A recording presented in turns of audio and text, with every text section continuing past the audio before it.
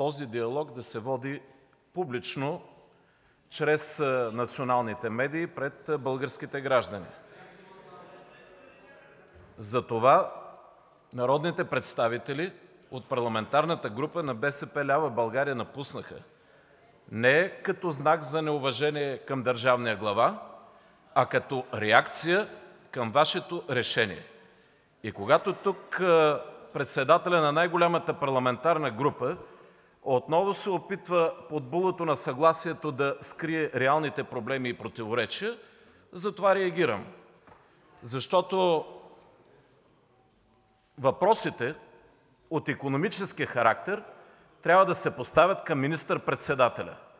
Президентът не може да реши тези въпроси и Вие имате пълната власт, така както спирате или откривате обществени поръчки, да решавате въпросите за туризма, за енергетиката и за добива на полезни изкопаеми. Това е моята реакция, госпожо Председател, защото ако ние не осъзнаем, че сме парламентарна република и не слушаме тронни слова, височината на тази трибуна, на която седим, няма да има почти никакво значение. Неразбирането за характера на държавното устройство на България и опитите по някакъв авторитарно манипулативен начин да се решават въпросите няма да доведе до никакво съгласие и затова ние не можем да бъдем част от такова фалшиво съгласие.